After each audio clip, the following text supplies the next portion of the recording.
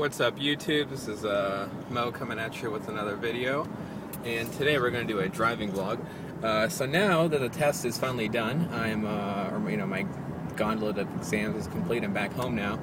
And um, so I wanted to respond to a good request someone asked about like how do you manage your schedule? Um, what do you do? How do you kind of balance your time so you can study a lot and be able to relax and kind of do these things because I cause when I initially started school I, I, kept my undergrad schedule and that really didn't work um, so I had to switch it up pretty quickly and uh, so I thought I'd share that with you guys because it worked out pretty well for me um, so what I used to do in undergrad was like get up in the morning around 7 or 8 and then you know, go to lecture, come back around noon or one, and then study. And then if I had lab, I'd be in lab from like one to five, and then from five to like one or two a.m. I'd be studying. And I did this practically every day, and I didn't get a lot of sleep. And um, and it wasn't the it, you know looking in hindsight, it was not a smart thing to do.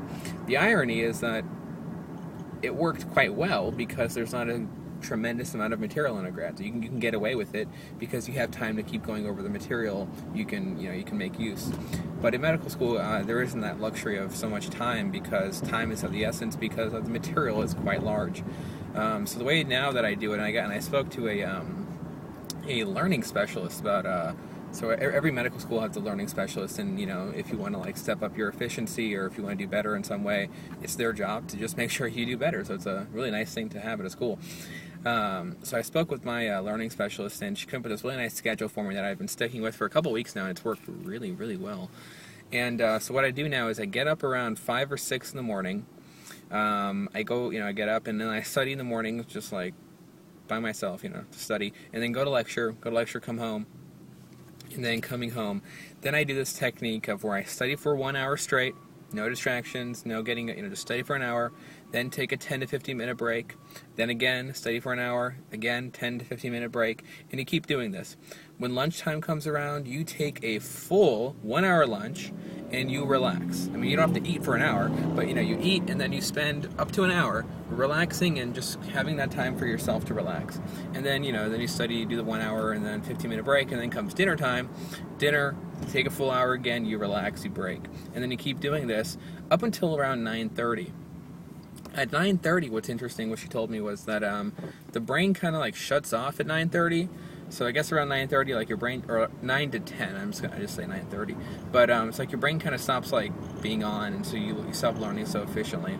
So you learn, you know, you, you like study and learn material and digest up until 9:30, and then from 9:30 to 11, you spend your time doing. Um, like memorization things, things that don't require you to learn something de novo. Learning structures, learning pathways, going through your flashcards, learning those histo slides. There's always something to memorize. Um, so that's when during that hour you really leave your rote memorization at that point. Um, because after 9.30 or 9 or 10 apparently you, you stop learning so well um, your body will still feel tired you'll still feel like you're learning well but in reality you're only taking in a small amount so the shift really is quite simple. It's just that you have dedicated breaks that are guilt free, which is really nice. So you have your hour lunch, you have your hour dinner, you have those 10 to 15 minute breaks between every hour of studying, and they're already in place in your schedule, so you don't have to worry about taking a break, and that feels really good. Um, uh, circle here. Um, and then. Um, a little traffic here. Hold on a second. Uh, okay. Um, so that's really nice. And so the only, the only, difference is if you really think about the schedule, yeah, you're managing your time differently by taking breaks and kind of organizing it. But also, instead of just staying up later, which apparently your brain's not going to learn so well, you just get up early. So it's just like shifting everything earlier, which is not really much of a big deal. It's quite nice because I've noticed that in the mornings I actually learn a lot better than I do in the evenings. I get a lot more work done. Um, so that's my schedule. I get up in the mornings. Um, I kind of stopped going to lecture recently because our school is a podcast system and I'm just one of those people that you know, yeah, I can learn from lecture, but you know, lecture is usually an hour per, per professor, but I can because you know they'll take podcast recordings of you know really high quality video and audio, the slides and everything, and they'll be uploaded that evening. So I just get up in the morning, and I, you know, now that I've changed my schedule a little bit more, I just keep studying um, the material and try to get ahead or whatever.